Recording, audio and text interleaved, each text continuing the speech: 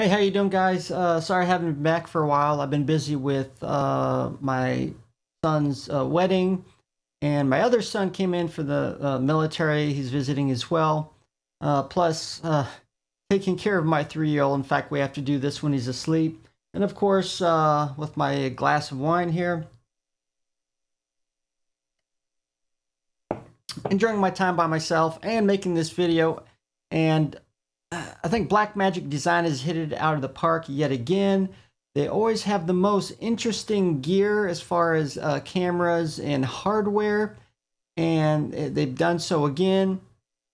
And this has to do with the ATEM Mini.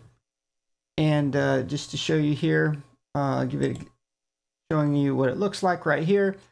And so basically, it's a video switcher and I'm going to show you the uh, front panel here. Of course, with any hardware control devices, um, it has plenty of hardware buttons. You can select your four different video inputs, uh, transition between all four of them, uh, and things like picture in picture and so on, uh, all using the hardware buttons.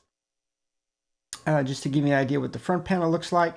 Now looking off the back, you can, can actually control up to four HDMI cameras, uh, camera inputs, so you can run one or up to four cameras at the same time, picture in picture or side by side, however you want to do it. Um, you also have a port for HDMI out, uh, which can go to a bevy of devices such as a uh, projector, uh, a capture card, or even an external recorder.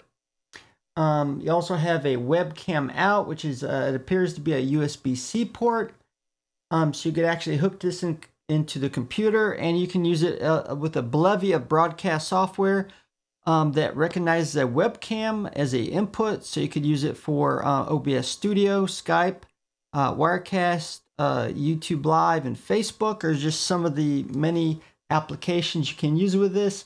Um, there's actually, uh, as far as controlling it, uh, externally using computer, you have Ethernet you can hook up, or you can even use the um, USB port as well. And uh, using their ATEM's control software, you can get additional uh, features. Uh, of course, you can use that to uh, uh, operate uh, the video switcher as well, and, and things like mixing audio. Actually, I forgot as well, stupid me. You also have, look on the far right, you also have two um, um, ports for audio, uh, which are 3.5 millimeter connections. So you could hook up uh, two, uh, two different microphones or even uh, one microphone and maybe a, an external audio device such as music. Uh, if you have a show that you're doing and you want to hook up some kind of music up at the same time, you can do that as well. Sorry about that. I missed that as well. And I also remember um, prior to that, uh, many years ago, the cheapest uh, ATEM switch you could buy was uh, about a thousand dollars, and it had to be uh, rack. It's rack mounted, so that kind of limits you how you can use it. Didn't have any control interfaces on it as well. Uh, basically, had to all control it through the um, ATEM software. Here you actually have physical buttons, um, or you can use it through the Control ATEM software as well. I think that's great.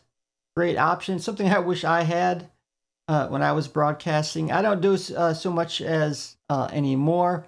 Uh, mainly uh, my YouTube channel now, but I am contemplating of broadcasting once a month. So I definitely want to tell you about that new news with uh, many th interesting things coming out with Blackmagic Design excellent hardware for um, very reasonable prices. So uh, th thanks you guys for watching and see, as always, see you later.